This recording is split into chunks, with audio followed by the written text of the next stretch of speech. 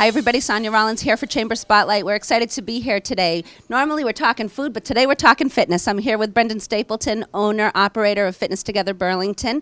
He has been here for just about 16 years. Brendan, thank you for joining us.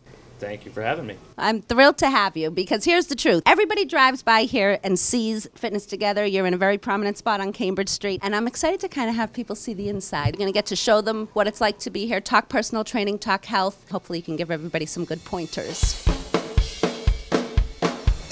It's not all about just working out or just what you eat. There's a mixture to make the perfect science of being healthy. Oh yes. yeah, it's a it's a true mix of exercise, nutrition, cardiovascular health, and everybody's here for different reasons. Some folks are here mainly for the accountability because they don't like working out. They want to work out in a safe space. They yes. don't want to get hurt.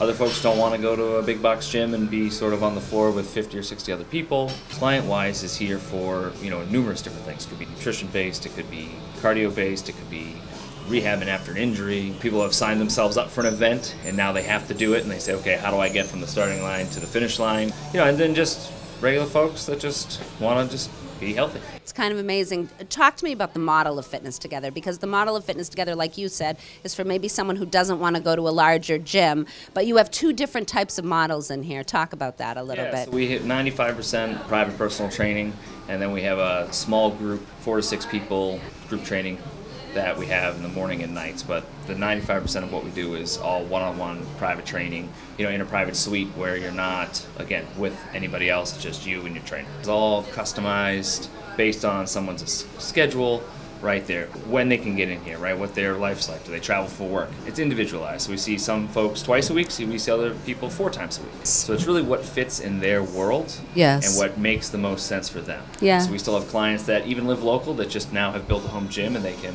get in and out before the kids wake up. And then we have some folks that live, you know, across the country and around the world that we just adjust for their time zones. And we still see them uh, virtually via Zoom or or Google or even Facebook sometimes. We concentrate really fitness over 40, and then we also train a little bit of sport specific, so running or triathlon, but we also have younger athletes. Kids that are going into college, college age, coming out of college, yes. that just looking for healthy routines. Yeah. And a lot of it's the coaching comes down to that one-on-one and just meeting the person where they're at and then helping them get to the next, you know, progress point in their in their journey community, those who know you personally, or those who've been around you, or those who've been involved with the chamber and see you, you and your team are very involved in the community. Yeah, I mean, so I've been trainer for almost 20 years, and, yeah. been, and the goal is to affect as many lives as possible. We take that right outside the doors, right? Whether it's food drives or helping out with families in need during the holidays yes. or other different things. And we have a good time doing it in regards to some of the different ventures we've come across and different funds we support. But it's really about just being a pillar of the community right. and truly making a positive impact where you can. Yeah. Right? Do what you can when you can for as long as you can. And our goal is always to bring people together, right? Sometimes people don't want to go to a big box gym because they may be the lone wolf of their, you know, community. They don't really know anybody. Yeah. Right? So when people come here, we want the clients to be introduced to each other.